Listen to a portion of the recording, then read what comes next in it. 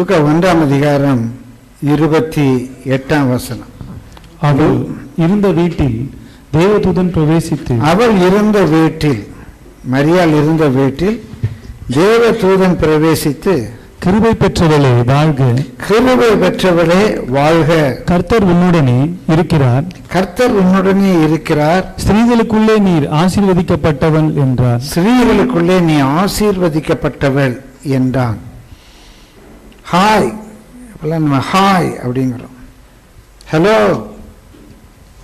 ஹே அப்படின்னா சேர் அப் அப்படின்னு அர்த்தம். சேர் அப் அப்படின்னு அர்த்தம். அதுலேருந்து அந்த ஹாய் அப்படிங்கிற சொல் வந்தது. ஹலோ அது சுருக்கி ஹாய் தேவத்துவத்தின் மரியாதை இந்த வீட்டுக்குள்ளே போய்த்தா ஹாய் கிருபை பெற்றவளே அப்படிங்க. கிருபை பெற்றவளே ஹாய் கிருபை பெற்றவங்களை போல மகிழ்ச்சியானவங்க யாருமே கிடையாதுங்க. இந்த கிருபை நம்முடைய வாழ்க்கையில் என்ன செய்யும் அப்படிங்கிறத தேவ கிருபையினால ஒரு பன்னிரெண்டு குறிப்புகள் கொண்டு வந்திருக்கிறேன். கட கட கட கட் கட் அப்படின்னு நான் பன்னெண்டு குறிப்புகளையும் சொல்ல போகிறேன் குறித்து கொள்ளுங்க. பிரியமானவர்களை கேள்வி கேட்பேன். யார்கிட்ட கேட்பேன்னு தெரியாது. தெரிந்தவங்ககிட்ட கேட்பேன்னு நினச்சிக்காதீங்க. அதனால் எல்லாரும் ஆயத்தமாக இருங்க. கிருபை பெற்றவனும் அடையாளம். முதலாவது ரோமர் பதினோராம் அதிகாரம் ஐந்தாம் வசனத்தில் வாசிக்கிறோம். ரோமர் பதினொன்று ஐந்து.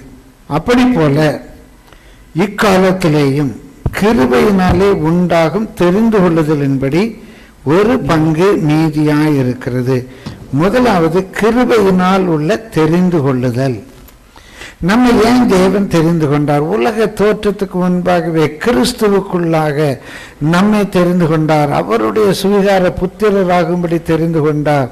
அன்பில் குற்றமற்றவர்களாக இருக்கும்படி பரிசுத்தமாக இருக்கும்படி தெரிந்து கொண்டார். ஏன் நம்மை தெரிந்து கொண்டார்? கடந்த வாரங்களில் அதை குறித்து சற்று தெளிவாக கூட பார்த்தோம். கிருபை. ஏன் ஆபிரகாமை தெரிந்து கொண்டார்? இந்த சபிக்கப்பட்ட உலகத்தை ஆசீர்வதிக்க கிருபை. ஏன் எலியாவுக்கு ஆகாரம் கொடுக்க ஒரு காகத்தை தெரிந்து கொண்டார் கிருவை ஏன் கிறிஸ்து வெளிப்படுவதற்கு ஒரு மரியாதை தெரிந்து கொண்டார்? கிருவை பெற்றவளே வாழ்க அவ்வளோதான் நீ தேவனிடத்தில் கிருபை பெற்றாய். இது எப்படி ஆகும்? இது எப்படி ஆகும்? நீ தேவனிடத்தில் கிருவை பெற்றாய் அவ்வளோதான் கிருவை பெற்றவளே வாழ்க. அப்போ தேவன் நம்மை தெரிந்து கொண்டது ஒரு கிருவை இது நம்மால் உண்டானதல்ல நம்ம எவ்வளால் விளங்கிக் கொள்ள முடியாது. என்னை என் தாயின் கற்பத்திலே நான் உருவாவதற்கு முன்பாக ஏதோ ஒரு அனாதி தீர்மானம். ஏன் என்னை தெரிந்து கொண்டார்? கிருபை. அவர் தேவன் நம்மை தெரிந்து கொண்டது அவருடைய அனாதி கிருபை என்று பார்க்கிறோம். இரண்டாவதாக கலாத்தியர் ஒன்றாம் அதிகாரம் ஆறாம் வசனத்திலே வாசிக்கிறோம். கலாத்தியர் ஒன்றாம் அதிகாரம் ஆறாம் வசனம். கிருபையினாலே அழைத்தவரை நீங்கள் இவ்வளவு சீக்கிரமே கிறிஸ்துவின் கிருபையினாலே அழைத்தவரை. பிரியமானவர்களே நம்மை தேவன் அழைத்தது அந்த அழைப்புக்கு நாம் கீழ்ப்படிந்தது கிருபை. தெரிந்து கொண்ட தேவன் உலக தோற்றத்துக்கு முன்பாகவே ஜேம்ஸை தெரிந்து கொண்டார். உலக தோற்றத்துக்கு முன்பாகவே புஷ்பராஜை தெரிந்து கொண்டார். அது கிருபை. தெரிந்து கொண்டவர் ஒரு காலகட்டத்தில் ஒரு சூழ்நிலையில் அவர்களை அழைக்கிறார். இந்த ரட்சிப்புக்குள்ளே இந்த மார்க்கத்துக்குள்ளே இந்த வழிக்குள்ளே இந்த சத்தியத்துக்குள்ளே வரும்படியாக அழைக்கிறார். அந்த அழைப்பு கிருபையினால தான் வருகிறது. அவர் அழைப்பதும் கிருபை. அந்த அழைப்புக்கு நாம் ஒப்பு கொடுப்பதும் கிருபை. கலாத்திய ஒன்றாம் அதிகாரம் பதினைந்தாம் வசனத்தில் கூட பவுல் தன்னை பற்றி எழுதும்போது தம்முடைய கிருபையினாலே அழைத்த தேவன் அப்படிம்பார். என்ன இந்த அழைப்புக்கு இந்த க- இந்த வ- இந்த ஒரு மார்க்கத்துக்குள்ளே இந்த சத்தியத்துக்குள்ளே என்னை தேவன் அழைத்திருக்கிறார் என்றால் என்னை தெரிந்து கொண்டவர் உலக தோற்றத்துக்கு முன்பாக என்னை தெரிந்து கொண்டவர் தாயின் கற்பத்திலே உருமாக்குவதற்கு முன்பாக ஜேம்ஸை தெரிந்து கொண்டவர் ஒரு சூழ்நிலையிலே ஜேம்ஸை இந்த கிருபைக்குள்ளே இந்த சத்தியத்துக்குள்ளே அழைக்கிறார். தெரிந்து கொண்டது பிறப்பதற்கு முன்பாக. பவுலை தெரிந்து கொண்டார். தமஸ்குக்கு போகிற வழியிலே பவுலை அழைக்கிறார். பவுலோடு ஒரு தொடர்பை உண்டாக்குகிறார்.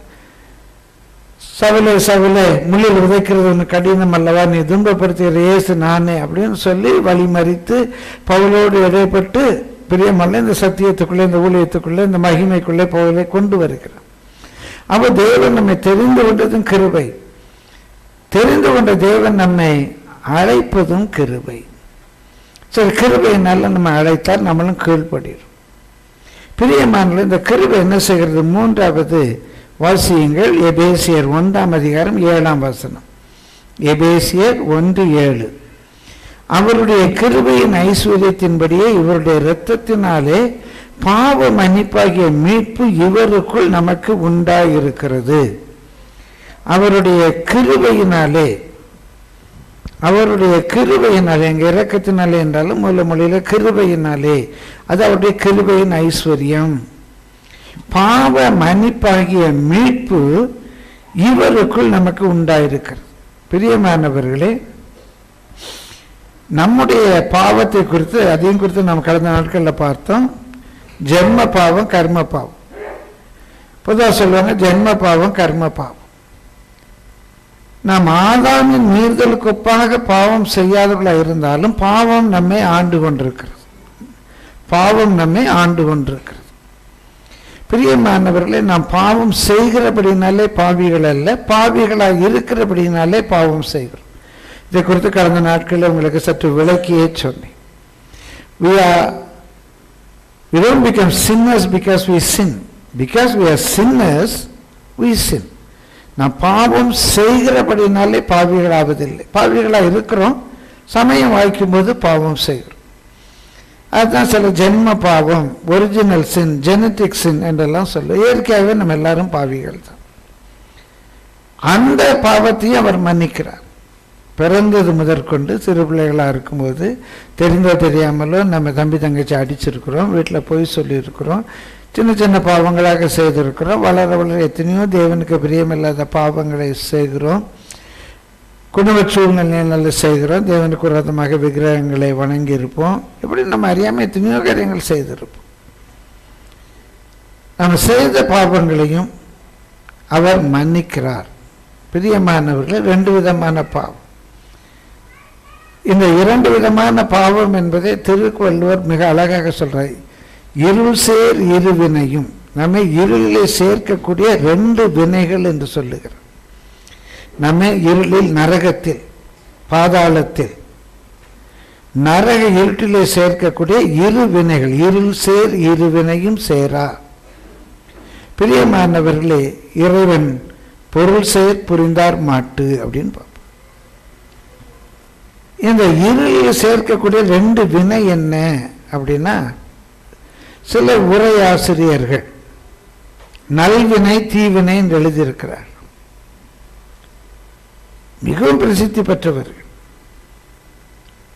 மதிப்புக்குரிய மு. வரதராசனார் அவர்கள் முன்னாள் முதல்வர் கலைஞர் அவர்கள் இவங்களெல்லாம் உரையில் நல்வினை தீவினை என்று குறிப்பிடுகிறார். நல்வினை நம்ம எப்படி இருள சேர்க்கும்? நல்வினை நம்ம இருளில் சேர்க்குமா என்ற ஒரு கேள்வி வருகிறது. ஒருவேளை வள்ளுவரே ஊழ்வினையை பற்றி சொல்லுகிறார். பிறப்பாலேயே நமக்கு இருக்கிற அந்த ஜென்ம பாவம் வள்ளுவர் குறிப்பிடுகிறதை ஒருவேளை பிற உரையாசிரியர்கள் ஏற்றுக்கொள்ள மறுத்து அவங்களுடைய எண்ணங்களுக்கு மாறாக இருக்கு என்று மறுத்து நல்வினை தீவினை என்று சொல்லியிருக்கால் நல்வினை நம்ம இருளிலே சேர்க்காது. தான் வள்ளுவம் கூடியதும் கிறிஸ்தவத்துக்கு ஒட்டி வருகிற ஒரு இலக்கியம் கிறிஸ்தவத்துக்கு வெளியே அநேக பாடல்களுக்கு நம்மால் உரை சொல்ல முடியாது. நிறைமொழி பாந்தர் வெறுமை நிலத்து மறைமொழி காட்டி விடும் என்று சொன்னால் அதற்கு வேற உரை சொல்ல முடியாது. நிறைவான வார்த்தை மனிதனான பெருமையை வேதம் காட்டுகிறது. வேற எந்த மனிதனுக்கு அதை சொல்ல முடியும்? அந்த வார்த்தை மனிதனாக மாறினது என்ற பெருமையை இந்த நிலத்திலே வேதம் காட்டுகிறது என்று சொன்னால் ஒரே ஆசிரியர் வேறு எந்த மனிதனை இதை சுட்டி காட்ட முடியும்? வார்த்தை மனிதனானது வேதத்தில் மாத்திரம்தான் பார்க்கிறோம். பிரியமானவர்களே இங்கே சொல்ற இருள் சேர் இருவினை. நம்ம இருட்டிலே சேர்க்கக்கூடிய ரெண்டு வினை. நம்முடைய ஜென்ம பாவம் நம்முடைய கர்ம பாவம். எல்லாவற்றையும் அவர் நமக்கு மன்னிக்கிறார். நம்முடைய பாவம் ரத்தாம்பர சிவப்பா இருந்தாலும் பிரியமானவர்களை அவருடைய இரத்தத்தினாலே கழுவி சுத்திகரித்து பாவத்தை நமக்கு மன்னிக்காது. அவருடைய கிருபையினுடைய வலிமை. அதனால தான் பார்க்குறோம் எபிரேயர் எட்டாம் அதிகாரம் பன்னிரெண்டாம் வசனத்தில் கூட கிருபையாய் நான் மன்னித்து அவர் பாவங்களையும் அக்கிரமங்களையும் இனி நினையாதிருப்பேன் என்று சொல்கிறார் அவர் மன்னிக்கிறது மாத்திரமல்ல மன்னிச்சதை நினைக்க மாட்டேன் ஒரு சில குடும்பங்களில் திருமணமான புதுதில் கணவன் மனைவிக்குள்ள ஏதோ சின்ன பிரச்சனை வந்திருக்கும். கணவன் மனைவியை மனத்தங்கள் அடைய வைத்திருப்பார். பிறகு விழுந்த மனைவிட்ட மன்னிப்பு கேட்டிருப்பார். அவங்களும் பரவாயில்லைங்க ஒன்றும் இல்லைங்கன்னு விட்டுருப்பாங்க. ஆனால் ஒரு ரெண்டு வருஷம் கழித்து ஒரு பிரச்சனை வரும் அன்னைக்கு அப்படி சொன்னீங்க இல்லாமாங்க. என்ன அதுக்கு மன்னிப்பு கேட்டேன்னு. மன்னிச்சிட்டேங்க. ஆனால் என்னால் மறக்க முடியலை. ரெண்டு வருஷம் கழிச்சதில்ல பத்து வருஷம் கழிச்சோம்.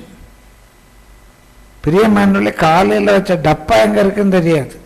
ஆனால் பத்து வருஷத்துக்கு முன்னால் அந்த ஒரு வேதனை பாருங்க அதை மறக்க முடியாது. திரும்ப சொல்லி காட்டுவாங்க.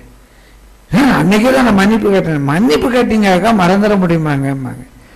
ஒன்றும் பிரச்சனை இல்லைங்க. எண்பது வயசான பிறகு நினைவு இருக்கும். அதான் அதில் உள்ள கிருபை. ஆனால் ஆண்டவர் பாருங்க மன்னிச்சிட்டாருன்னா மறந்துடுறாரு. இனி அதை நினைக்க மாட்டார். நாம போய் ஆண்டவரே நான் இப்படிலாம் தப்பு பண்ணனோட இல்லைப்பா நான் மன்னிச்சிட்டேன்ப்பா என் பிள்ளைப்பா. அதை பற்றியே பேசாத நான் மன்னிச்சிட்டேன் பாம்பார் அது அவ்வளோ பெரிய கிருபை.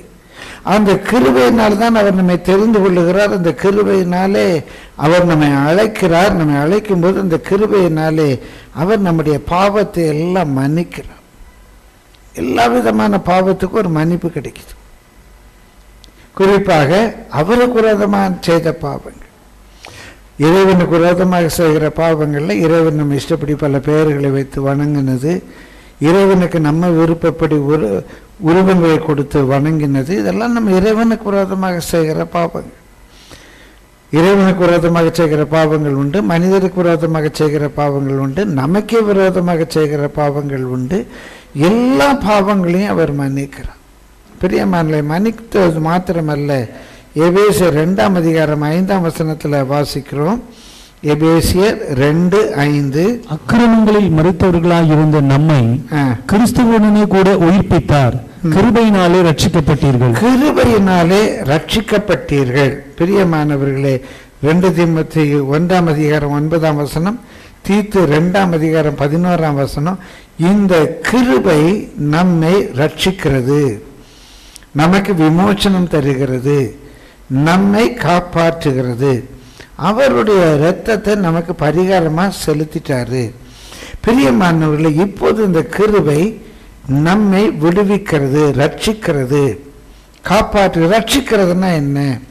பிரியமான நமக்கு சரியான தவறான வழியிலிருந்து தவறான மார்க்கத்திலிருந்து நம்மை தூக்கி எடுத்து சரியான மார்க்கத்துக்கு கொண்டு வருகிறது. காட்டில் வழி தெரியாமல் இந்த வழியா போலாமா அந்த வழியா போலாமா இந்த வழியா போலாமா என்று திகைத்து கொண்டிருந்த ஒருவனுக்கு சரியான ஒரு வழி இதுவே வழி இதில் நட என்று வழி தருகிறது. அவன் ரட்சிக்கப்படுகிறான். அவன் விமோசனம் அடைகிறான். பிரியமல்ல அவனுக்கு ஒரு விமோசனம் பிறக்குது. அவன் அன்றைக்கு காப்பாற்றப்படுகிறான். இப்போ ரட்சிக்கப்படுறது ரட்சிக்கப்படுறது என்று சொன்னால் ஏதோ நான் சினிமா விட்டுட்டேன் சிகரெட்டை விட்டுட்டேன் என்பது அல்ல சரியான வழியை தெரிந்து கொண்டேன். துன்மார்க்கன் தன்னுடைய நினைவுகளையும் அக்கிரமக்காரன் தன் வழியையும் விட்டு கர்த்தரிடத்துக்கு திரும்ப கடவன். அப்போ நான் இப்போ அந்த சரியான வழியை தெரிந்து கொண்டேன். அதை தான் ரட்சிப்பு அப்படின்னு சொல்கிறோம் ஒரு பெரிய மலை அடிவாரத்தில் நாலஞ்சு வெவ்வேறு மதத்தைச் சேர்ந்தவர்கள் நின்று கொண்டிருந்தாங்களாம்.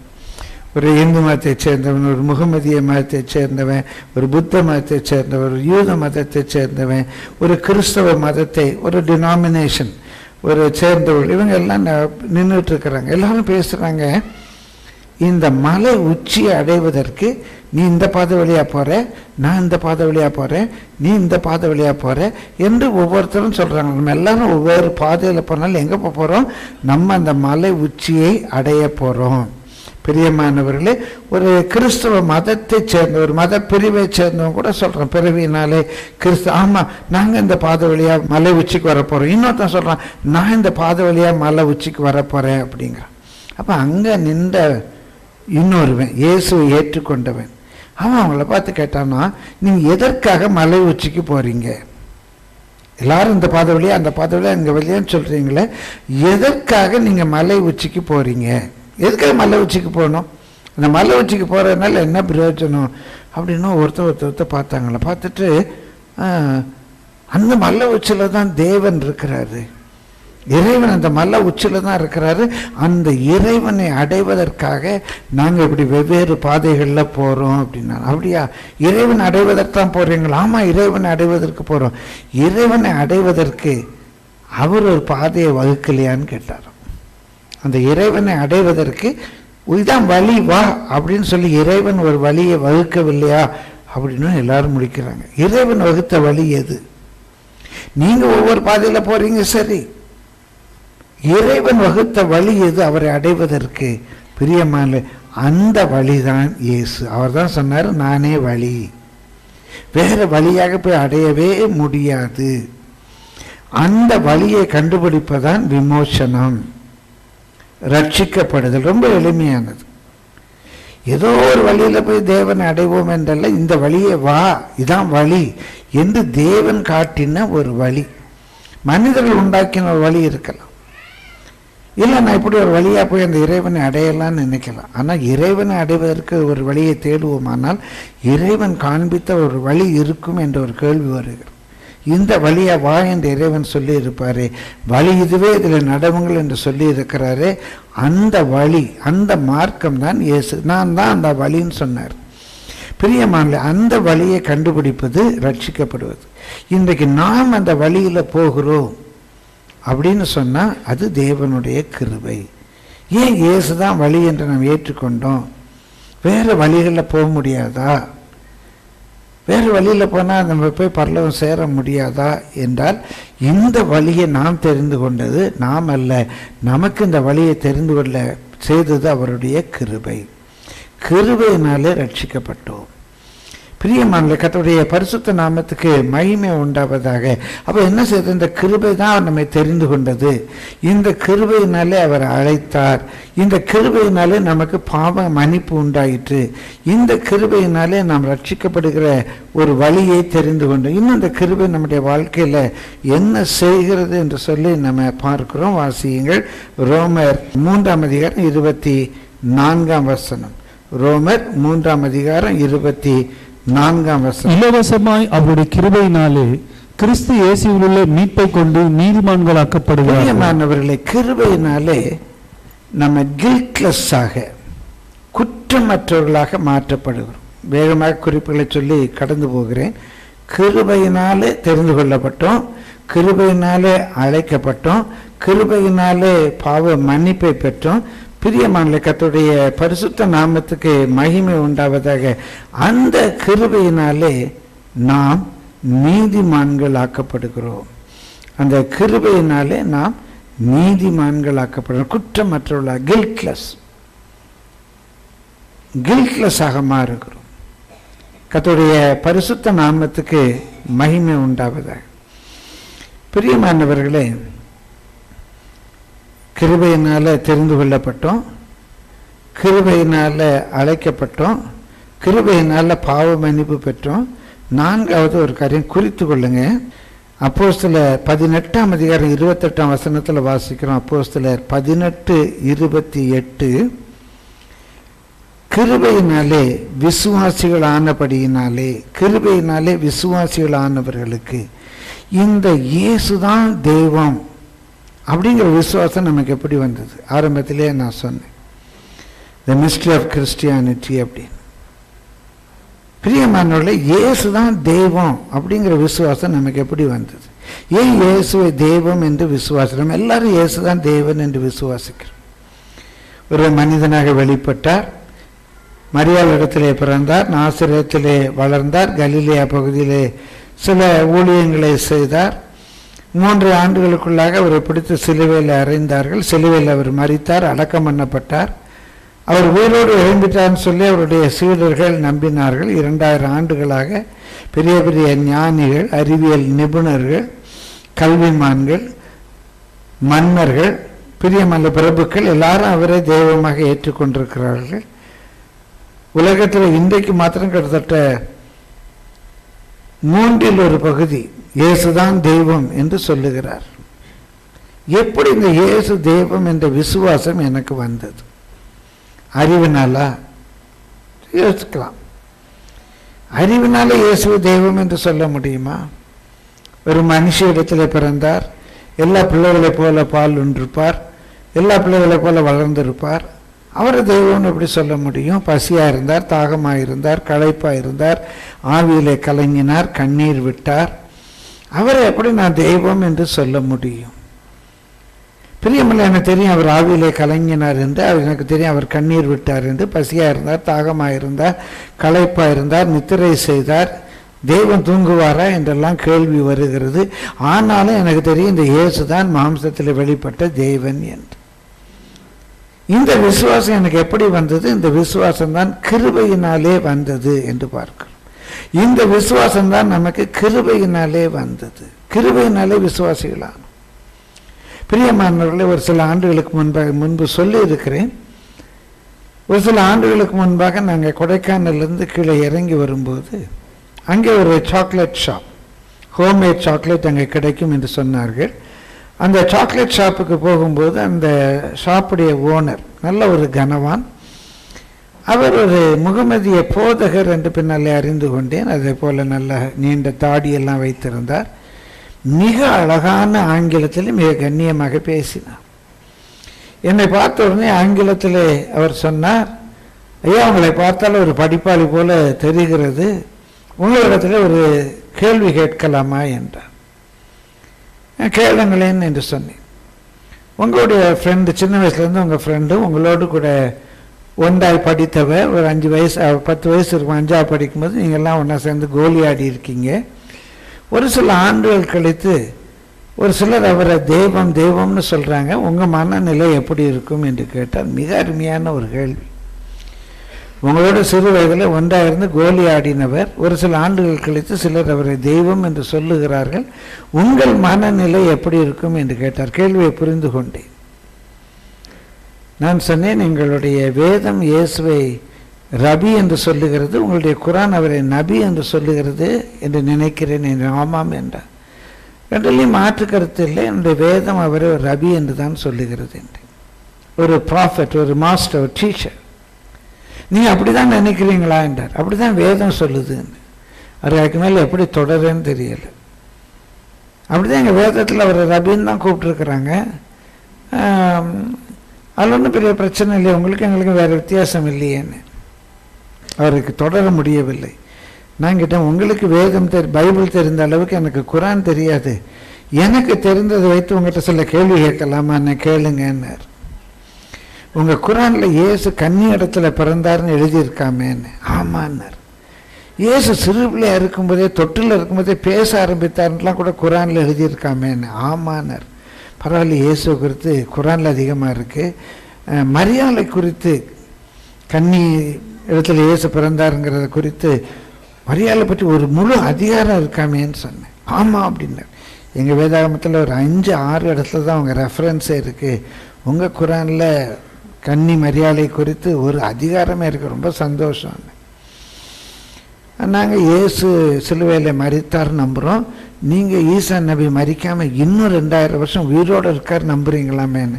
ரொம்ப சந்தோஷம். ஆமாம் சார் அப்படின்னார். எங்களோட உங்கள் நம்பிக்கை பெருசாக இருக்குது நாங்களாவது அவர் மறித்து உயிர் தெழுந்தார் நம்புகிறோம் நீங்கள் ரெண்டாயிரம் வருஷம் அவர் உயிரோடு இருக்கார் நம்புறீங்களோ உங்கள் நம்பிக்கை ரொம்ப பெரியது அப்படின்னு. கடைசி காலத்தில் இந்த ஈசா நபி திரும்பி வருவாராமேன்னு. ஆமானார் மெகதி ஏழு ஆண்டுகள் ஆண்ட பிறகு ஈசா நபி வருவார்னு இருக்காங்கன்னு. ஆமாங்க அப்படின்னார். எங்கள் வேதாகமத்தில் கூட ஆய் இந்த அந்தி கிறிஸ்துன்னு சொல்லப்பட்டிருக்கு. ஏழு வருஷம் ஆட்சி செய்வான். அதுக்கு பிறகு இயேசு திரும்ப வருவார்னு இருக்குது அவர் முப்பது வயசில் மறித்து உயிரோடு எழும்பினார். சரி வரும்போது ஒரு முப்பது முப்பத்தி மூணு வயசு பையனாக வரலாம். ஆனால் ரெண்டாயிரம் வருஷம் உயிரோடு இருக்கிற இயேசு திரும்பி வரும்போது எப்படி இருப்பாருங்க அப்படின்னு. அது அதுக்கு பதில் இல்லை. அவருக்கு இப்போ என்ன சொல்லன்னு தெரியல. சச்சா அதை பற்றி பரவாயில்லைங்க. எப்படியோ ரெண்டு பேரும் நம்புகிறோம் ஏசு வருவார் அப்படின்னு சொல்லிட்டு. நான் அவர்கிட்ட சொன்னேன். ஆதாம் நபி கன்னியாடத்தில் பிறக்கலை. ஆபிரகாம் ஈசாக்கு யாக்கோபு கன்னியாடத்தில் பிறக்கலை. மோசே நபி கன்னியாடத்தில் பிறக்கலை. முகமது நபி கன்னியாடத்தில் பிறக்கல. இந்த ஒரே ஒரு நபி மட்டும்தான் கன்னியாடத்தில் பிறந்திருக்கிறார்லங்கன்னு ஆமான்னார். மற்ற நபிகள் எல்லாம் மறித்து போனாங்க. அவங்க கல்லறையெல்லாம் நம்ம கூட இருக்குது. இந்த ஒரு நபி மாத்திரம் நாங்கள் உயிரோடு இருக்காருன்னு சொல்கிறோம் மறித்து உயிர்த்தல் தான் சொல்கிறோம் நீங்கள் உயிரோடு இருக்காருன்னு சொல்கிறீங்க மற்ற எல்லா நபிகளும் மறித்து போனாங்க இல்லையா? கடைசி நபியாக முகமது கூட மறித்து போனார். இந்த ஒரு நபியை தவிரன்னு. ஆமான்னு. வேறு எந்த நபியோ மூசாவோ இல்லைன்னா முகமது வேறு எந்த நபியும் திரும்பி வர மாட்டாங்க இந்த நபி மாத்திரம் திரும்பி வருவாங்க நம்புறீங்களான்னு நம்புகிறோன்னார் அப்போ இந்த நபி மற்ற நபிகளை நபிகளைப் போல மனிதனாக இருப்பாரா? ஆனால் இறைவனுடைய அந்த வரிசையில் மூணே மூணு தான் சொல்கிறீங்க தெய்வம் இறை தூதர்கள் நபிமார்கள். இந்த இதில் தூதர்கள் வந்து நபிகளுக்கு பணிவுடை செய்கிற ஆவிகள் தான். இப்போ இந்த ஈசா நபி யார்? அவர் மனிதன் என்றால் மற்ற எல்லா மனிதர்லேருந்து வேறுபட்ட ஒரு மனிதனாக இருக்கிறார். அவர் தூதனாக இருக்க முடியாதுன்னு தூதர்கள் பணிவுடைய ஆவிகள். அவர் தூதனும் அல்ல அவர் மனிதனும் அல்ல. அப்படியானால் யாரா இருக்க முடியும்? நீங்கள் எனக்கு பதில் சொல்ல வேண்டாம். பதில் தெரிந்து கொள்ளுங்கள் என்றேன். அப்படியே ஒரு மாதிரி ஷாக் ஆயிட்டார். நீ எனக்கு பதில் சொல்ல வேண்டாம். இவர் யாரா இருக்க முடியும் என்று நீங்கள் தெரிந்து கொள்ளுங்க இவர் மனிதனாக இருக்க முடியாது. ஏன்னா எந்த மனிதனும் கன்னியிடத்தில் பிறக்கலை. எந்த மனிதனும் ரெண்டாயிரம் ஆண்டுகளாக உயிரோடு இல்லை. எந்த மனிதனும் உலகத்தின் முடிவில் திரும்பி வரப்போறதில்லை. அப்போ இவன் மனிதனாக இருக்க முடியாது. இவர் தூதனாகவும் இந்த மனிதன் இருக்க முடியாது. ஏனென்றால் தூதன் பணிவுடைய ஆவிதான். ஆனால் மூன்றே மூன்று வருஷம் தான் இருக்கு. தேவன் தூதர் பணிவுடைய ஆவி. இந்த மூன்றிலும் இல்லாவிட்டால் இவர் யார்? இவர் யாராக இருக்க முடியும்? பிரியமான அவர் பல் சொல்ல அப்படியே ஒரு மாதிரி கலங்கி நின்றார். அவர் நல்லா தெரிந்து கொள்ளுங்க என்று சொன்னேன். அவர் ஒருவேளை ஒரு ஆர்குமெண்ட் மூலமாக இயேசுவை மனிதன் சொல்ல முடியாது இயேசுவை தூதன் என்று சொல்ல முடியாது இயேசு தேவன் என்று தான் அவர் சொல்ல முடியும். சொல்ல மனசு வரல. ஆனால் அந்த இயேசுவை நான் மட்டும் ஏன் தேவன் நினைக்கிறேன்? அந்த இயேசு ஏன் நீங்கள்லாம் தேவன் நினைக்கிறீங்க? வெறும் அறிவுபூர்வமாக அல்ல. இப்படிப்பட்ட தர்க்க சாஸ்திரத்தினால அல்ல. அறிவை உணர்த்தும் வசனத்தை சொல்லக்கூடிய வரம் இருப்பதினாலே அல்ல. நான் இயேசுவை தேவன் என்று நினைப்பதே அவருடைய கிருபை. ஹலலூயா ஹலலூயா இந்த இயேசு தான் தேவன் என்று நீங்கள் அறிந்திருக்கிறீர்களே அதுவே கிருபைங்க. அந்த கிருபை நமக்கு இருக்கிறபடினாலே தான் நாம் ரட்சிக்கப்படுற இந்த பாதையை தெரிந்து கொண்டோம். அந்த கிருபை நமக்குள்ளே இருக்கிறபடினால தான் அவரால் உண்டாகிற நீதியை நாம் ஏற்றுக்கொள்ளுகிறோம். இன்றைக்கு தேவனுடைய சமூகத்தில் நம்ம நிற்கும்போது நம்ம பாவங்கள் எல்லாம் கழுவி சுத்திகரிக்கப்பட்டபடியினால we got right standing with God we are guiltless குற்றம் மாற்றப்பட்டு விட்டது. இனி குற்றவாளி அல்ல. நீ நீதிமான். உன்னுடைய பழைய வாழ்க்கையில் செய்த குற்றங்கள் உன்னுடைய கர்ம பாவங்கள் இன்றைக்கும் தெரிந்தும் தெரியாமல் செய்கிற எத்தனையோ தவறுகள். அந்த கிருவை அந்த கிருவை கிருவை நம்மை தேவனுக்கு முன்பாக நீதிமான் ஆக்குகிறது. கிருபையினாலே தெரிந்து கொள்ளப்பட்டோம் கிருபையினாலே அழைக்கப்பட்டோம் கிருபையினாலே பாவ மன்னிப்பை பெற்றோம் கிருபையினாலே விசுவாசம் வந்தது கிருபையினாலே ரட்சிக்கப்பட்டோம். அந்த கிருபை நம்மை நீதிமானாக மாற்றி இருக்கிறது இன்னும் அந்த கிருபை நம்முடைய வாழ்க்கையில் என்ன செய்கிறது என்று பார்க்கிறோம். பிரியமானவர்கள் ஏழாவது கிருப்பு சரி நம்ம நீதிமான் ஆகிட்டோம் நம்ம பாவத்தை எல்லாம் மன்னிச்சிட்டாரு எல்லா குற்றங்களையும் மன்னிச்சிட்டாரு. இப்போ இன்றைக்கு சில கிரேஸ் டீச்சிங்னு சொல்லிட்டு இனி நம்ம என்ன தப்பு பண்ணாலும் பரவாயில்ல. நம்ம பிரமாணத்துக்கு கீழே இல்லை. நம்ம வந்து தேவனுக்கு கீழே கிருபைக்கு கீழே தான் இருக்கிறோம். நமக்கு பிரமாணம்லாம் கிடையாதுங்கிறாங்க. பிரியமானவர்களே இது பேய்த்தனத்துக்கு அடுத்த உபதேசம். அது பேய்த்தனத்துக்கு அடுத்த உபதேசம். நமக்கு ஏன் கிருபை தருகிறார் என்று சொன்னால் நம்முடைய வாழ்க்கையில் ஒரு திவ்ய ஒரு நடத்தை காணப்படும்படியாக ஒரு டிவைன் லைஃப் நமக்கு வரும்படியாக. நாம் நியாயப்பிரமாணத்தை நிறைவேற்றும்படியாக அந்த தேவ அழகு நம்மிலே காணப்படும்படியாகத்தான் நமக்கு கிருபை தருகிறாரே ஒழிய பாவ வாழ்க்கை வாழ்வதற்காக கிருபை தரல. ஏழாவது குறிப்பு ரெண்டு குழந்தையர் ஒன்றாம் அதிகாரம் பன்னிரெண்டாம் வசனம். இந்த ஆறு குறிப்புகள் இன்றைக்கு நடைமுறை வாழ்க்கைக்கு நமக்கு மிக தேவையான குறிப்புகள். ரெண்டு குழந்தையர் ஒன்று பனிரெண்டு வாசியுங்கள் மாம்சத்துக்கேற்ற ஞானத்தோடு நடவாமல். தேவனுடைய கிருபையினால் தேவனுடைய கிருபையினால் நாங்கள் உலகத்திலேயும் உலகத்திலேயும் விசேஷமாக உங்களிடத்திலேயும் தேவனுடைய பெரிதான கிருபையினால பொதுவாக உலகத்திலேயும் நம் கல்லூரியில பணித்தளங்கள்ல உறவுகள் மத்தியில குடியிருக்கும் பகுதியில பிரியமானவர்களை உலகத்திலேயும் குறிப்பாக உங்களிடத்திலேயும் சபைக்குள்ளேயும் விசுவாசிகளுக்குள்ளேயும் உலகத்திலேயும் விசேஷமாக உங்களிடத்திலேயும் இல்லாமல் திவ்ய உண்மையோடு நடந்தோம் இல்லாமல் திவ்ய உண்மையோடே நடந்தோம் என்று எங்கள் மனது எங்களுக்கு சொல்லும் சாட்சியே எங்களுக்கு புகழ்ச்சியா இருக்கிறது. பிரியமான இந்த உலகத்துல ஒரு கபடம் இல்லாமல் ஒரு திவ்ய உண்மையோடு நாம் நடப்பதற்கு அவருடைய கிருபை நம்மிலே பெருகிறது.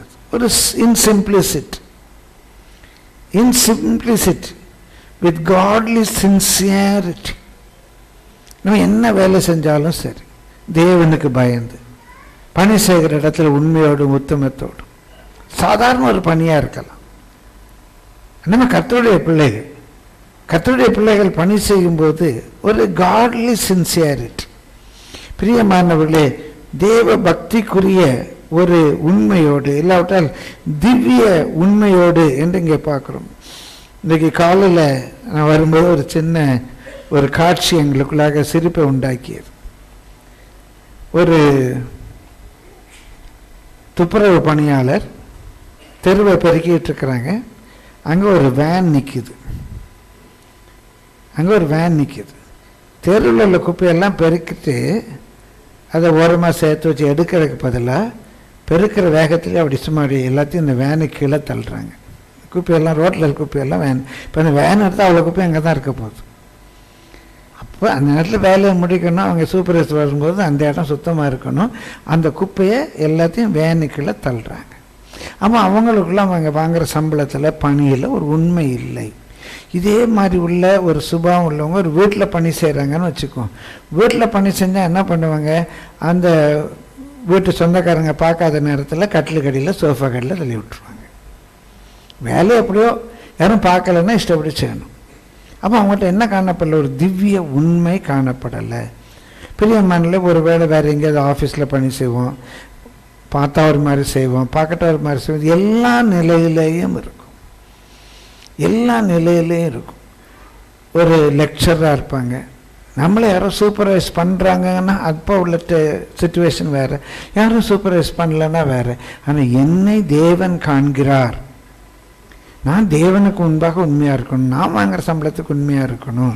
அப்படின்னு பணி செய்யும்போது வருகிற ஒரு உண்மைக்கு பேர் தான் திவ்ய உண்மை. எதை செய்தாலும் கருத்திருக்கின்ற செய்யணும். அது ஒரு துப்புரவு பணியாக இருந்தாலும் கூட இல்லாவிட்டால் ஒரு பெரிய ஊழியமாக இருந்தாலும் கூட என்னை கர்த்தர் காண்கிறார் என்ற உணர்வோடு செய்யணும் இதே இது பெரியமல்ல ஊழியக்காரங்க மத்தியிலையும் வரும். நான் ஊழியத்துக்கு வந்த புதிதில் முழுநேர ஊழியத்துக்கு வந்த புதிதில் சபையில் உள்ள ஊழியக்காரர்களுக்காக ஜெபம் எடுக்கிற ஒரு ஊழியத்தை எனக்கு பாஸ்டர் கொடுத்தேன். சாட்டர்டே சபை ஊழியர்களுக்காக ஒரு ஜெபம் எடுக்கணும்.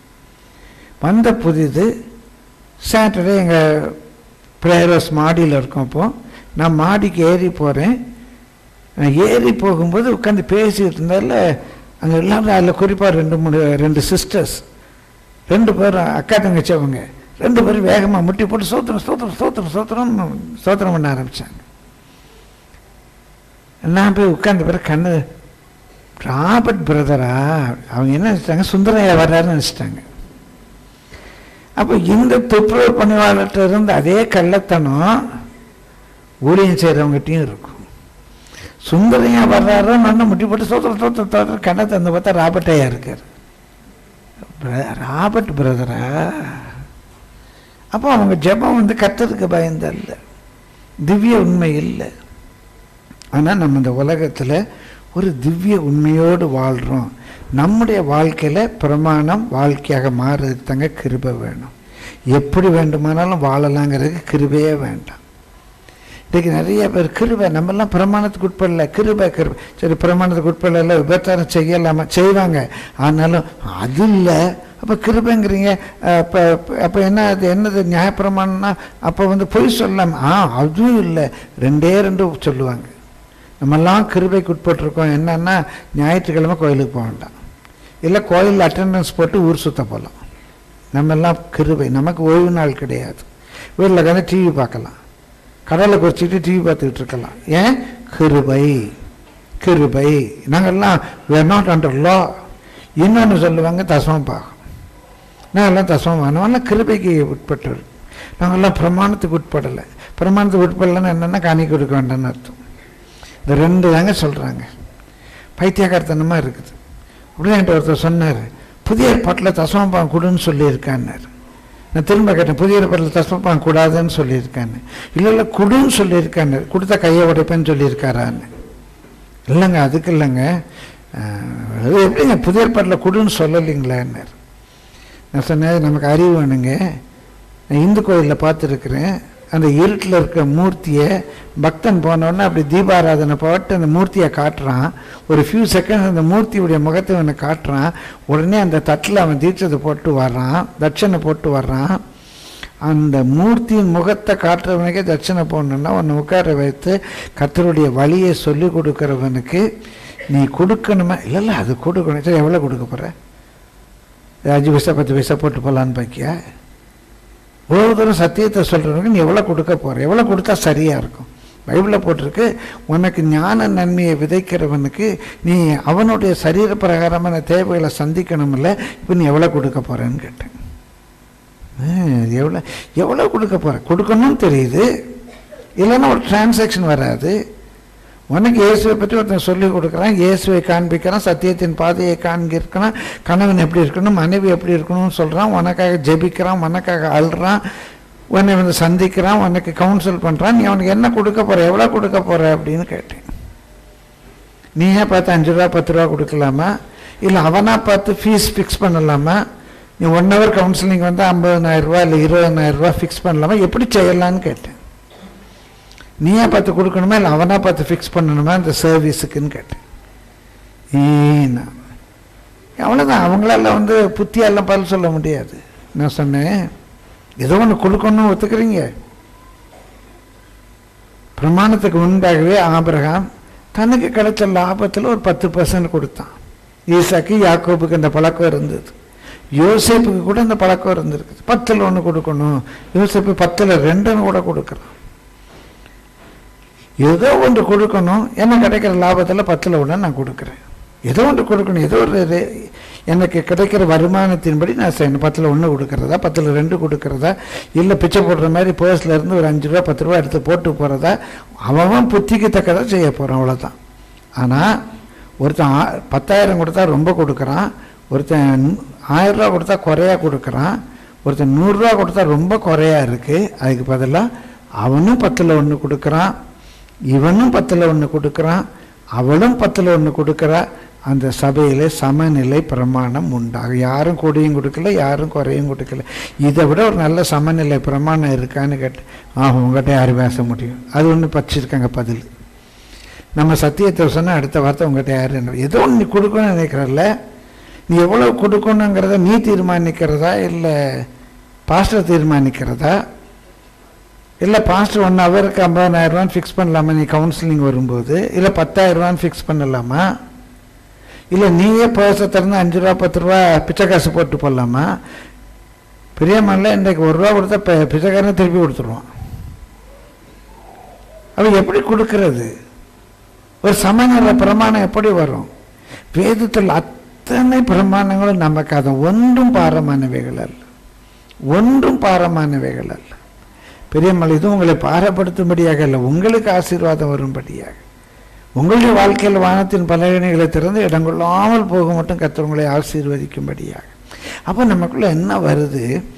பிரமாணங்களை நிறைவேற்றுகிற ஒரு வாஞ்சி வருது. அப்பா அம்மாவை கனம் பண்ணணும் மனைவியை நேசிக்கணும் கணவனுக்கு கீழ்ப்படியணும் எல்லாவற்றிலும் எங்கள் அப்பா அம்மாவுக்கு கீழ்ப்படியணும். அப்போ இந்த பிரமாணங்கள் எல்லாம் நம்முடைய வாழ்க்கையில் நிறைவேறுகிறது. திவ்ய சுபாவத்தோடு நம்ம நடக்க ஆரம்பிக்கிறோம். அதனால தான் பேதர் எழுதுவார் திவ்ய சுபாவத்துக்கு பங்குள்ளவர்களானபடியால் டிவைன் நேச்சருக்கு நம்ம பார்ட்டேக்கர்ஸ் இதில் வந்து இதை செய்யலாமா இதை செய்யக்கூடாதா கொடுக்கணுமா கொடுக்க வேண்டாமா இப்படிப்பட்ட ஆர்குமெண்ட்ஸ்லாம் இல்லை. என்னை அழைத்தது கர்த்தர். இம்மட்டுமாக கர்த்தர் நடத்தி வர்றார். நீங்கள் கொடுத்தாலும் நீங்கள் கொடுக்காவிட்டாலும் என்ன நடத்த வேண்டியது கர்த்தர். நீங்கள் என்ன கொடுக்கலையே நான் யார் வேலையும் கோவப்படுற போகிறது கிடையாது.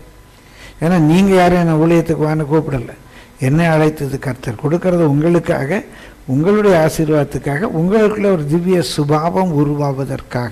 ஒரு மனநிலையில் ஒரு டிரான்சாக்ஷன் நீங்கள் ஆவிக்குரிய நன்மையை ஞான நன்மையை பெறுகிறீர்கள் சரீர நன்மையை பகிர்ந்தளிக்கிறீர்கள்.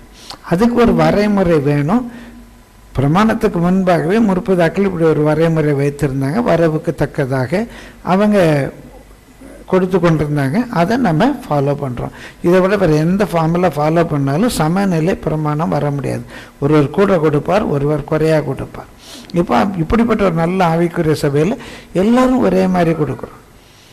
பிரியமல் எல்லாரும் பத்தில் ஒன்று தான் கொடுக்குறோம். ஏழையும் குறையாக கொடுக்கல பணக்காரனும் கூட கொடுக்கல. எல்லாரும் பத்தில் ஒன்று கொடுக்குறோம். ஒரு சமநிலை பிரமாணம் உண்டாகிறது. இருக்கட்டும் பிரியமானலே நான் பிரமாணம் ஏன்னா இந்த காலத்தில் இதை வலியுறுத்தி சொன்னதுக்கு காரணம் நம்ம நியாயப்பிரமாணத்துக்கு கீழ்ப்படல நியாயப்பிரமாணத்துக்கு கீழ்ப்படலன்னு சொல்லிட்டு ரெண்டு காரியங்களில் அநேகர் பிழை விடுகிறார் ஒன்று ஓய்வு நாளை பரிசுத்தமாய் ஆசிரிக்க நினைப்பதில்லை. இன்னொன்று பிரியமானவர்களே தசம பாகம் காணிக்கையில் கர்த்தருக்கு முன்பாக உண்மையாக இருக்க விரும்பவில்லை. இது ரெண்டுமே நாங்கள் நியாயப்பிரமாணத்துக்கு கீழ்ப்படியில் கீழ்ப்படியில். நான் கிருபைக்கு உட்பட்டிருக்கோம் என்று போய் சொல்லுகிறார். பின்னால் எல்லா பாவத்தையும் கிருபை கிருபை என்று செய்ய விபச்சாரம் வேசித்தனம் களவு திருட்டு பெருமை எல்லாம் அவங்க வாழ்க்கையில் வந்துடுது நம்ம கிருபைக்குள்ள உட்பட உட்பட உட்பட நமக்குள்ளே திவ்ய சுபாவம் உருவாக ஆரம்பிக்கிறது. கிருபையினாலே நமக்கு கிடைக்கிற ஒரு பெரிய பலன் நமக்குள்ளாக திவ்ய சுபாவம் வருகிறது. சரி குறிப்பை மாத்திர சொல்லி வேகமாக கடந்து போகிறேன். இப்போ என்ன ஆகுது? இப்படி கிருபை பெருக பெருக. ரெண்டு குழந்தை எட்டாம் அதிகாரம் ஒன்றாம் வசனம் வாசிங்க. அன்றியும் சகோதரரே. மக்கதோனியா நாட்டு சபைகளுக்கு தேவன் அளித்த கிருபையை உங்களுக்கு அறிவிக்கிறோம். அவர்கள் மிகுந்த உபத்திரவத்தினாலே. சோதிக்கப்படுகையில் கொடிய தரித்திரம் உடையவர்களாய் இருந்தும் தங்கள் பரிபூர்ண சந்தோஷத்தினாலே மிகுந்த உதாரத்துவமாய் கொடுத்தார்கள். சரி இப்போ நம்ம நியாயப்பிரமாணத்தை குறித்து பார்த்தோம்.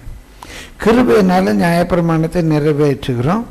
இங்கே ஒரு டிரான்சாக்ஷனை பார்த்தோம். எனக்கு ஆவிக்குரிய நன்மை ஞான நன்மை ஒருத்தர் விதைக்கிறாங்க. எனக்கு ஆலோசனை கொடுக்குறாங்க என் வீட்டை வந்து சந்திக்கிறாங்க. நான் என் வருமானத்தில் பத்தில் ஒன்று கொடுக்கேன். எனக்கு திராட்சை ரசமும் அப்பமும் கொடுக்குற மில்க் சதைக்கு எனக்கு கிடைத்த வருமானத்தில் நான் பத்தில் ஒன்று கொடுத்துட்றேன் ஒரு டிரான்சாக்ஷன் இன்னும் கிருபை நம்மில் பெருகும்போது உதாரத்துவமாக கொடுக்க ஆரம்பிப்போம். பிரியமலை கொடுக்கிறது தங்களுடைய நேரத்தை தங்களுடைய வருமானத்தை தங்களுடைய தாளந்துகளை குறிப்பாக பொது காரியத்துக்காக இன்னும் தேவனுடைய ராஜ்யம் கட்டப்படுவதற்காக. அள்ளி விதைக்கிறவர்கள் கிருபை பெற்றவர். சிறுக விதைக்கிறவன் சிறுக இருப்பான் பெருக விதைக்கிறவன் பெருக இருப்பான் நீ விதைக்கிற ஒரு வித முப்பது ஒரு வித அறுபது ஒரு வித நூறாக பெருகும் இன்று இருப்பதை காட்டிலும் ஆயிரம் மடங்கு கற்ற பெருக பண்ணுவார். கோடா கோடியாய் பெருகுவீர்கள். எத்தனையோ கத்தருடைய சாட்சிகளை உங்கள் மத்தியில் பகிர்ந்து கொள்ள முடியும். பிரியமானவர்களே எவ்வளவோ ஏழ்மையான நிலையிலிருந்து கத்தர் இன்றைக்கு அவர்களை தூக்கி எடுத்து எவ்வளவோ உயரத்தில் வைத்திருக்கிறார். பல மருந்த சாட்சிகளை நான் உங்களோடு கூட பகிர்ந்து கொண்டிருக்கிறேன். சில நாட்களுக்கு முன்பாக கூட ஒரு அருமையான தம்பதியார் அவர்களோடு கூட பேசும்போது அவர்கள் அன்றைக்கு இருந்த நிலை இன்றைக்கு இருந்த நிலை ரெண்டையும் நாங்கள் யோசித்து அப்படியே கத்தரை தூத்து கொண்டிருந்தோம். உண்மையாகவே என் கண்கள் கலங்கி என் தேவன் எவ்வளவு பெரியவர். சிலருடைய வாழ்க்கையில் இப்படி உதாரத்துவமாய் தங்களுடைய நெருக்கத்திலையும் உதாரத்துவமாய் கொடுக்கிற கிருபை இருக்குது இந்த சபையில் உலக பிரகாரமாக சொல்லிக்கொள்ள பெரிய பணக்காரர்கள்லாம் ரொம்ப இல்லாட்டாலும் கொடுக்கறதுல எல்லாரும் ஐஸ்வர்யம் உள்ளவர்.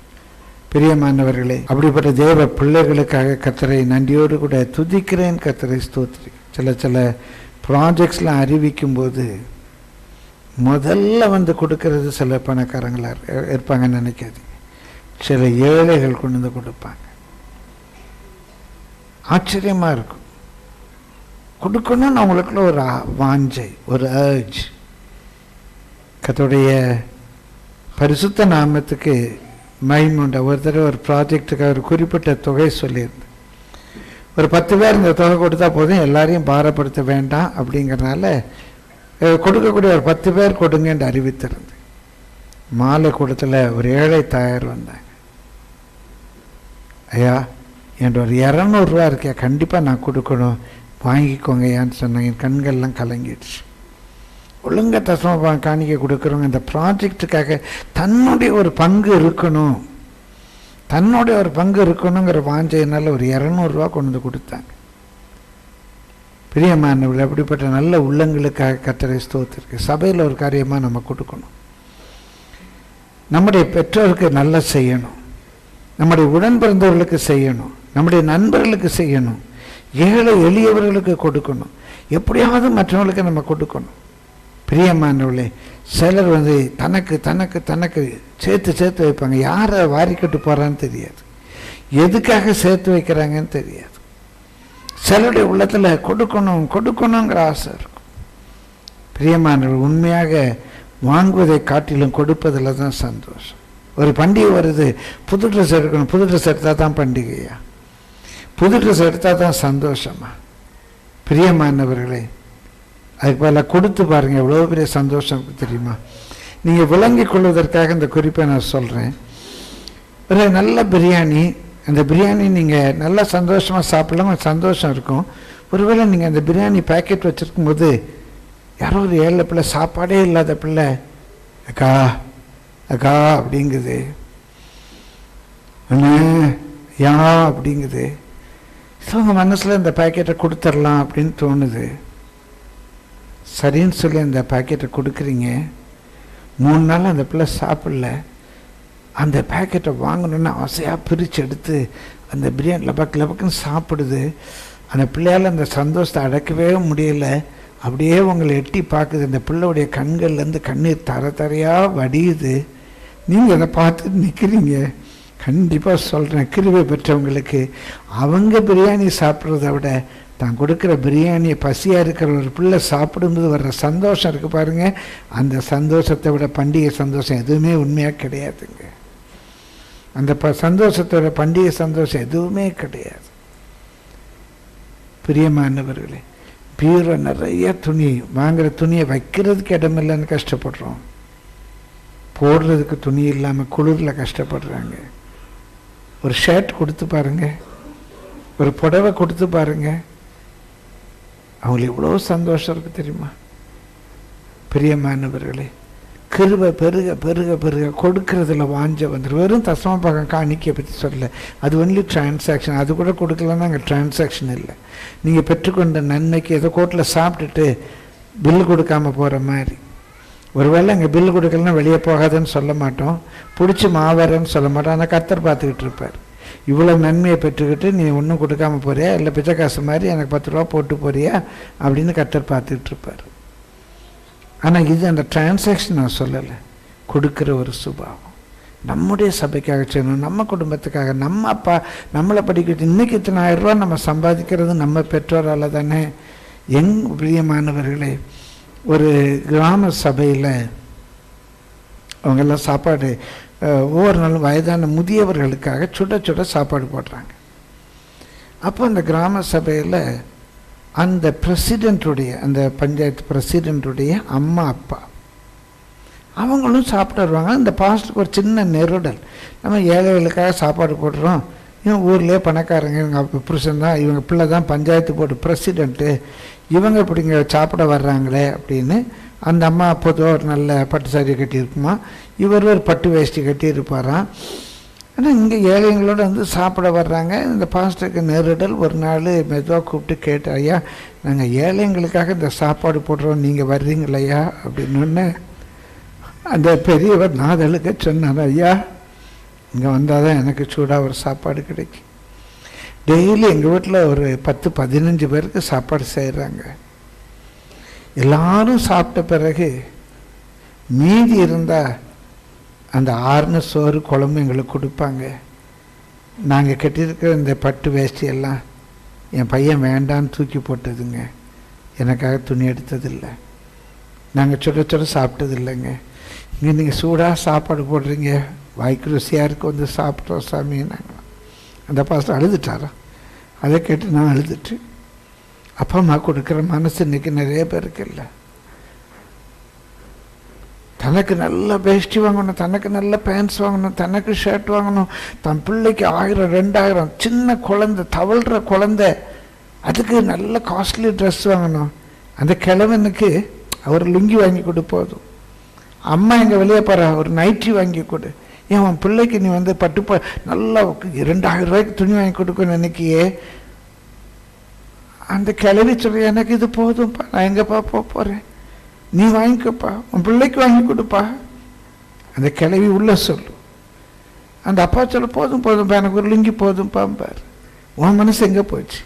உன்னை உடுத்தி உடுத்தி அழகு பார்த்த அப்பா அம்மாவுக்கு. அவங்கள உடுத்தி அழகு பார்க்கணும்னு விருப்பம் இல்லையா? ஒருவேளை அவங்க வேண்டான்னு சொல்லுவாங்க. வயதான காலத்தில் டாக்டர் பில்லு கிழமைக்கு அவங்க சொந்தக்காரங்கள்லாம் சேர்ந்து அவங்க பிள்ளைங்க பேர பிள்ளைங்கள்லாம் சேர்ந்து ஒரு சூட் வாங்கி கொடுத்தாங்களாம். அவர் இவ்வளோ சூட் இருக்கு. எனக்கு இன்னொரு சூட் தேவையே இல்லை. ஒருவேளை இந்த சூட் என்னுடைய ஃபியூனரலுக்கு தான் உதவ போகுதுன்னார். பெரியமானவர்களே பெரியவங்க கேட்பாங்கன்றல்ல ஆனால் அவங்களுக்கு ஒரு நல்ல சூட் வாங்கி கொடுத்து அழகு பார்க்கணுங்கிற எண்ணம் இல்லையா? ஆண்டவர்களோடு கூட பேசுகிறார் அவங்களுக்கு ஒரு லுங்கி வாங்கி கொடுத்தா போதும். இதுதான் உன்னுடைய பண்டிகையா? அவங்களுக்கு ஒரு நைட்டி வாங்கி கொடுத்தா போதும். அந்த கிளடு எங்கே போக போகுது? வீட்டில் தானே கிடக்குது. ஆண்டவர்களோட பேசுகிறார் கொடுக்கணும் அப்படிங்கிற மனமே ஒரு பெரிய கிருபைங்க. ஒரு சண்டே ஸ்கூல் பிள்ளை வியாதி வந்து மறிக்கும் தருவாய். சின்ன வயசுலேயே ஜுவனல் கேன்சர் டாக்டர் சொல்லிட்டாங்க ஒரு ஃபியூ ஹவர்ஸ் அந்த அம்மா அந்த பிள்ளைய ஹெவனுக்கு ப்ரிப்பேர் பண்ணணுன்னு அந்த பிள்ளைகிட்டயே மரணத்தை பற்றி பேசுகிறாங்க தேவதோடனை கூட்டு போகிறன்னு ஏசப்பட்ட போகன்னுலாம் பேசுகிறாங்க கடைசி அந்த பிள்ளை அவங்க அம்மாட்ட சொல்லுது அம்மா எனக்கு ஒரு சின்ன ஆசை செய்வீங்களா? என்னப்பா?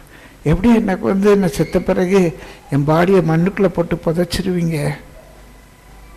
பாடி மண்ணில் அழுகிதானமா போகும். ஆமாடா. ஆனால் நீ ஆண்டவர்கிட்ட போயிடுவ. சரிம்மா நான் ஆண்டவர்கிட்ட போயிடுவேன். இந்த மண்ணில் போடுற பாடிக்காக நீங்கள் புது ட்ரெஸ் எடுக்காதீங்க. இந்தியாவில் ட்ரெஸ்ஸே இல்லாமல் நிறையா குழந்தைங்க இருக்காங்களாம் என்னுடைய பாடியில் மண்ணுக்கு போகிற பாடிக்காக புது துணி எடுக்காமல் அந்த குழந்தைகளுக்கு அதை பணத்தை அனுப்புவீங்களாம்மா? கிருபங்க. இதான் கிருபை. யாருடைய உள்ளத்தில் கொடுக்கறது சந்தோஷமா வருதோ அவங்க கிருபை பெற்றவங்க. எனக்காக எனக்காக எனக்காக சேர்த்து வைக்கணும் சேர்த்து வைக்கணும் சேர்த்து வைக்கணும். நாளைக்காக சேர்த்து வைக்கணும் சேர்த்து வைக்கணும்னு அலையிறவங்க தப்புன்னு சொல்லலை. கிருபை இல்லை. கிருபை இல்லை. கிருபை இருந்த வாரி இறைக்க தோணும். அள்ளி எடுக்க வீச தோணும். கத்துடைய பரிசுத்த நாமத்துக்கு மகிமை உண்டாவதாக. மக்கோதிய நாள் கிருபை. அதே தான் பின்னல்ல வசனங்களை வாசிக்க நேரம் இல்லை ஒன்பதாம் அதிகாரத்தில் சொல்லுவா அந்த கிருபை இருந்தனால தான் இயேசு நமக்காக தரித்திரரானார். கிருபையினால். அவருடைய கிருபையின் பரிபூர்ணம் அது. அவர் ஏன் தரித்திரரானார்? என்ன ஐஸ்வர்யவானாய் மாற்றுவதற்காக. சொல்லிக்கொண்டே போகலாம் கிருபையில் பெருகுங்க. கிருபை தேவன் தெரிந்து கொண்டார். கிருபையினால நம்மை அழைத்தார். கிருபையினால பாவத்தை மன்னித்தார்.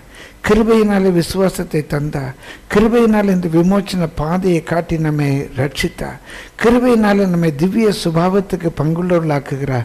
கிருபையினாலே நம்மை நீதிமான்களாக்குகிறார். அந்த கிருபையினாலே நம்மை உதார குணமுள்ளவர்களாக மாற்றுகிறார். பிரியமலை கிருபை கிருபை கிருபை. ஒன்பதாவது வாசியங்கள். எபிரேயர் பன்னிரெண்டாம் அதிகாரம் இருபத்தி எட்டாம் வசனம். எபிரேயர் பன்னிரெண்டு இருபத்தி எட்டு. ஆதலால் அசைவில்லாத ராஜ்யத்தை பெறுவர்களாகிய நாம் பயத்தோடும் பக்தியோடும் தேவனுக்கு பிரியமாய் ஆராதனை செய்யும்படி கிருபையை பற்றி கொள்ள கடவுள். நமக்கு எதுக்கு கிருபை வேணும்? தேவனுக்கு பிரியமாய் ஆராதனை செய்யும்படி பயத்தோடும் பக்தியோடும் கர்த்தருக்கு ஆராதனை செய்வதற்கு கிருபை வேண்டும். பிரியமான இன்றைக்கு ஆராதனை ஆராதனை என்று சொன்னால் ஏதோ கொஞ்ச நேரம் பாட்டு பாடுவது கையை ஆட்டுவது காலை ஆட்டுவது குதிப்பது இதான் ஆராதனை என்று ஆராதனை நேரம்னா பாடுற நேரம்னு நினைக்கிறாங்க. பிரியமல்ல ஆராதனை என்றால் பலி. இன்னும் சொல்ல போனால் இன்றைக்கு நம்ம சொல்கிறோம் சர்வீஸ்க்கு போகிறோம் Sunday morning service Sunday morning சர்வீஸ்னால் ஒரு அரை மணி நேரம் முக்கால் மணி நேரம் பாடுகிறது சண்டே மார்னிங் சர்வீஸ் அல்ல. தொடக்க ஜெபம் கத்தருடைய ஆராதனை தான். பிரியமல்ல பாடல் துதி பாடல் கத்தருடைய ஆராதனை. நம்முடைய ஆவிக்குரிய வாழ்க்கைக்காக உள்ள சபையின் நிகழ்ச்சிகளின் அறிவிப்புகள் ஆராதனையின் ஒரு பகுதி. சபையில் வருகிற சாட்சிகள் ஆராதனையின் பகுதி. சபையில் சிலருக்காக நம் பாரத்தோடு ஜெபிப்பது ஆராதனையுடைய ஒரு பகுதி. செய்தி ஆராதனுடைய பகுதி. தீர்க்க தரிசன வார்த்தை ஆராதனுடைய பகுதி. ஆராதனையில் பிரியமல் நீங்கள் காணிக்கை தசமபாகம் கொடுப்பது உங்களை அர்ப்பணிப்பது ஒரு ஆராதனையின் பகுதி. ஆராதனையில் கத்துடைய நாமத்தில் உங்கள் மேல் ஆசீர்வாதம் கூறுவது ஆராதனையினுடைய பகுதி ஆராதனை என்பது வெறும் பாடல் அல்ல ஆராதனை என்பது காணிக்கை அல்ல ஆராதனை என்பது பிரியமானவர்களை வெறுமனே ஒரு செய்தி கேட்பதல்ல தொடக்க ஜபத்திலிருந்து முடிவுரை ஆசீர்வாதம் சொல்லுகிற வரைக்கும் ஒரு ஆராதனை. அதனால தான் திரும்ப திரும்ப நம்ம சபையில் சொல்கிறோம் கடைசியில் ஆசீர்வாதம் சொல்லும்போது தயவு செய்து வழியே போகாதீங்கள் என்று. பிரியமல்ல ஒரு சில வாரங்களுக்கு முன்பாக கூட சொன்னேன் அப்படி ஆசீர்வாதம் வேண்டும் என்று விரும்பார்கள். ஆசீர்வாதத்துக்கு இருக்க முடியாதவர்கள் ஆராதனைக்கு வருவதை வேணும் என்று. உங்கள் மேலே வைராக்கியமாக இருக்க வேண்டும் என்றல்ல நீங்கள் ஆசீர்வதிக்கப்பட வேண்டும் என்று வேதம் சொல்லுகிறது. நீ அவர்கள் மேல் ஆசீர்வாதத்தை கூறுவாயாக அப்பொழுது நான் அவர்களை ஆசீர்வதிப்பேன். அப்போ ஆண்டவர் உங்களை ஆசீர்வதிப்பாராக என்று நாங்கள் சொல்லும்போது உங்கள் மேல் அந்த ஆசீர்வாதம் வருகிறது. அந்த நேரத்தை அல்லல் தட்டி விட்டு வேகமாக வெளியே போவீர்கள் என்றால் அந்த ஆசீர்வாதம் உங்களுக்கு வராது. ஒருவேளை நான் காணிக்கைக்காக ஊழியம் செய்வேன் என்று சொன்னால் நீ வெளியே நின்றால் என்ன உள்ளே நின்றால் என்ன?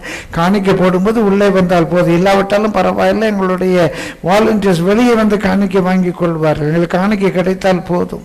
காணிக்கை போட்ட பிறகு நீ நின்றால் என்ன வீட்டுக்கு போனால் எனக்கு என்ன? என்று நான் ஊழியம் செய்வேன் என்றால் பிச்சை எடுக்கிற ஒரு பிச்சைக்காரனை போல உன்னுடைய காசுக்காக நான் ஊழியம் செய்கிறேன் என்ற அர்த்தம்.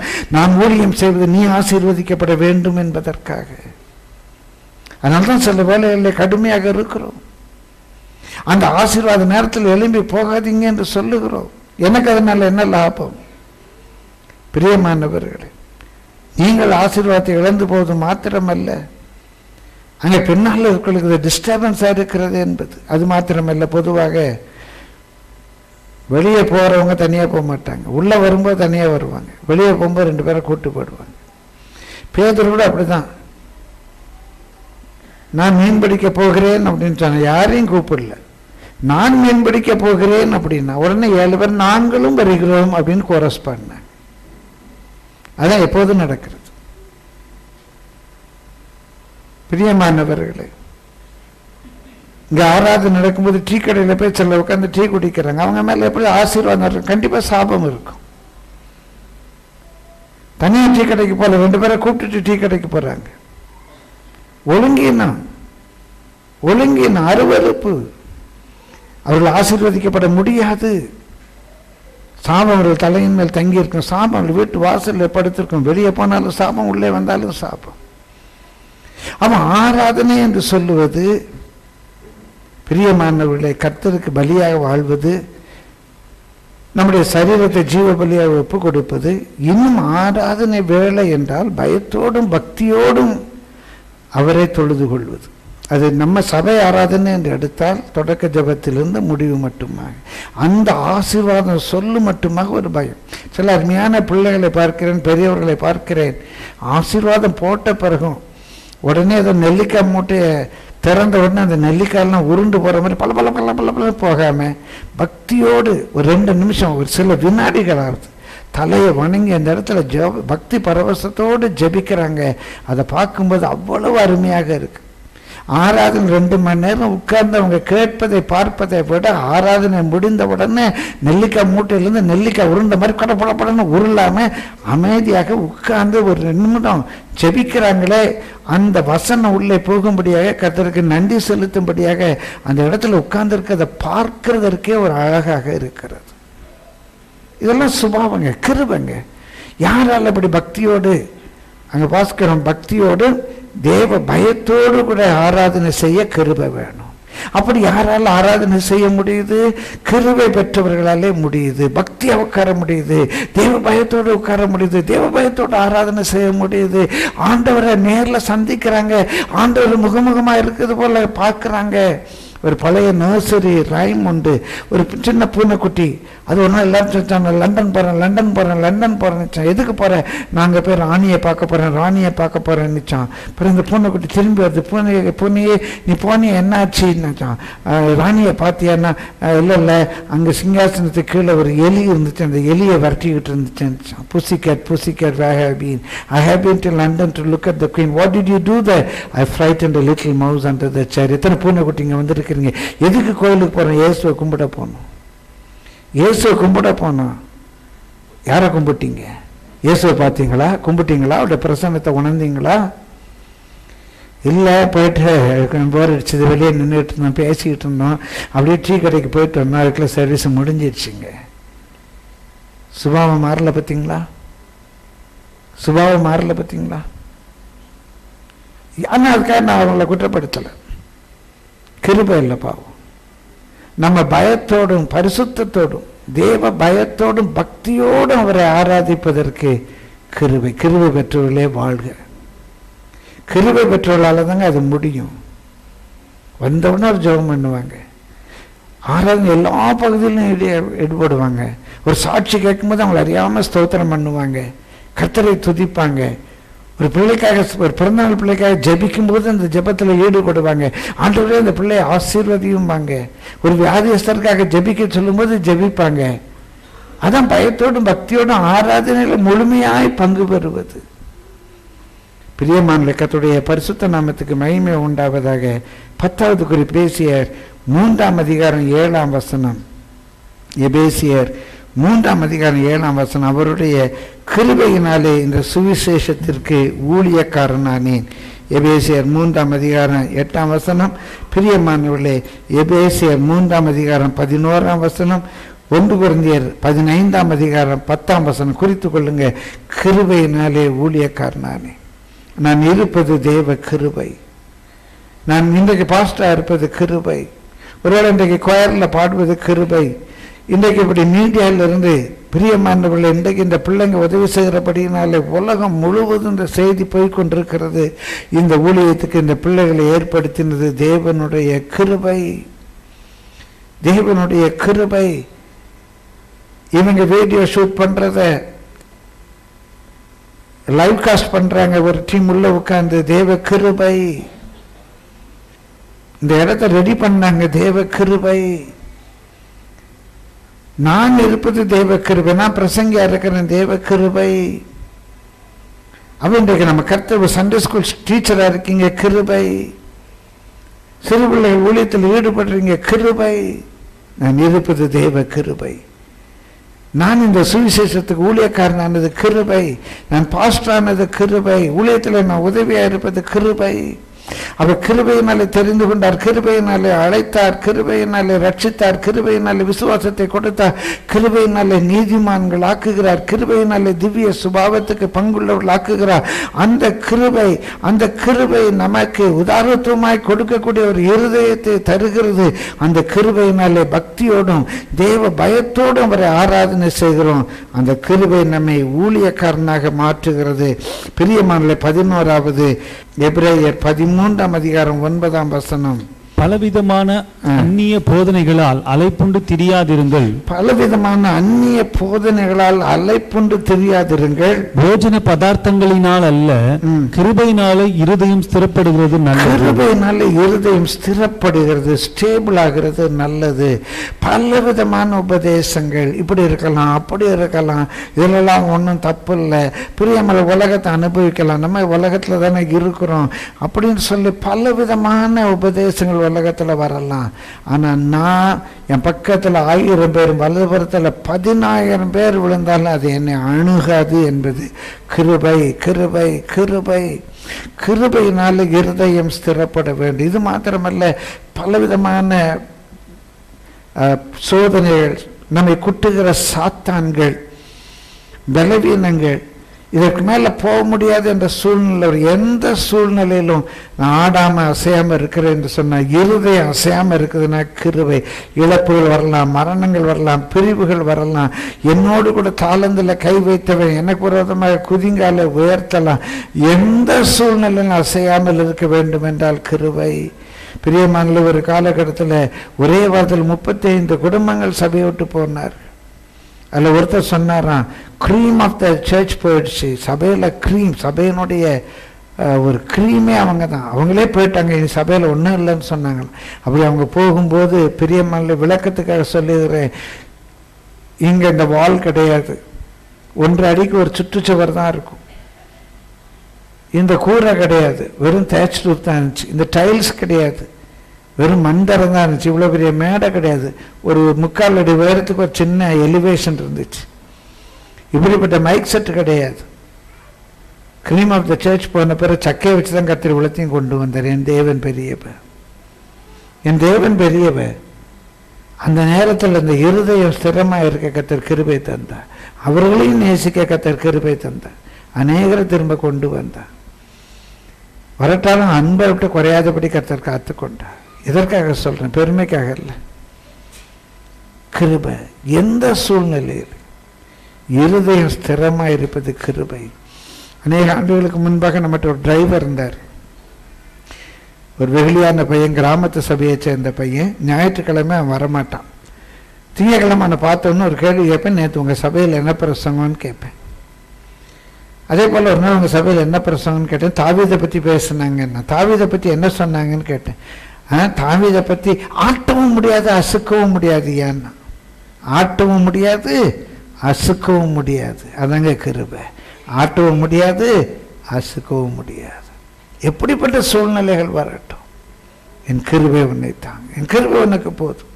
பிரியமானவர்களே கடைசியாக ஒன்றை சொல்லி முடிக்கிறேன். பன்னிரெண்டாவது குறிப்பு ரோமர் நான்காம் அதிகாரம் பதினாறாம் வசனம்.